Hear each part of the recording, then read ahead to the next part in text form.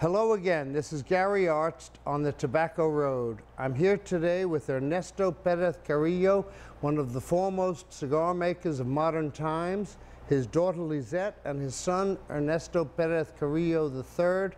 To save time, we're going to call him Ernie. Ernesto spent three, 10 years with General Cigar after selling his company to them in 1999. His famous brand, La Gloria Cubana, continues to be made by them, and after spending 10 years, Ernie retired at the tender age of 57? 50, yeah. 57. Uh, the interesting thing to me, Ernie, Ernesto, is that when you retired or sold the company, one of the reasons you told me you sold it is that the kids had no interest in the cigar business. That's correct. And yet here we are with Lissette, a successful transactional lawyer, and Ernie, a career in uh, private equity, and you're now all three in the cigar business. How did this come about? What well, changed their mind?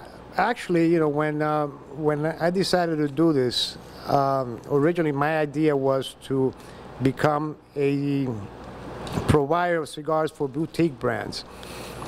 you know, now most of the boutique brand at that time are made in, or they're, they're, still being made in Nicaragua and Honduras. So I figured there was an opportunity to make some of these boutique brands in um, Dominican Republic. And you know, needless to say, I had a lot of uh, good feedback from uh, you know a lot of people that were interested in, in doing something with me down there in Dominican. But as we as we got closer to that time when I was leaving, I started taking uh, Lissette and Ernie to meetings, you know, different meetings that I had with uh, General Cigar, and uh, you know, they just became interested.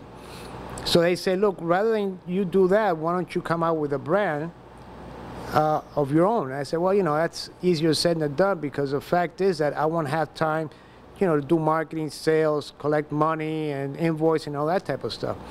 So uh, they said, well, you know, uh, you know, we'll, you know, we'll come in with you.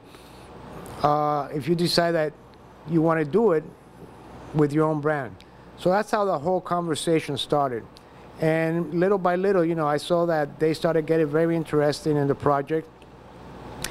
Um, and that gave me only more uh, enthusiastic in doing this, you know, coming out with our own brand.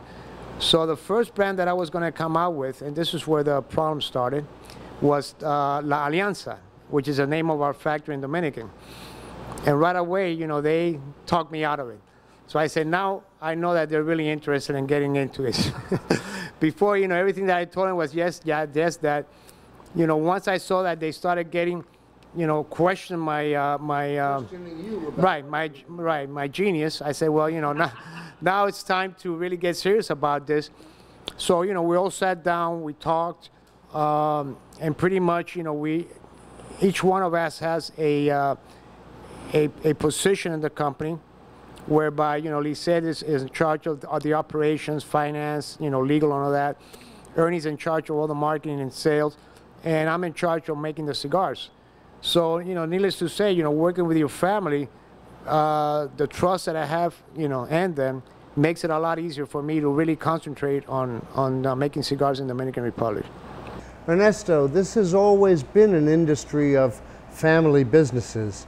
In fact, I would say that the large corporations, the corporate cigar entities, are not the people that are making uh, the very popular cutting edge cigars today. Well, you know, uh, to a certain degree, you know, that's, you know, there's, there's some truth in that because, you know, I think people nowadays want to associate with a with a with a face, with a figure. But uh, I have to say that you know, thanks to these big corporate companies, you know, this industry is as strong as it is. And the reason I'm saying that is because you know they invest a lot of money. Uh, they keep a lot of people working, not only cigar makers, but also you know the people that grow the tobacco. Uh, so we, we need those big corporates to to be very strong and uh, and uh, you know keep producing cigars and investing money in not only in stores but in the fields also. How did you decide between you what your various responsibilities were going to be, or did it come naturally? No, I think it's one of those things that kind of happen naturally. You know, at the very beginning, we're kind of all involved in all the decisions, and even the sales and the marketing. Even though that's my main responsibility, you know, I hardly make a decision without consulting both of them.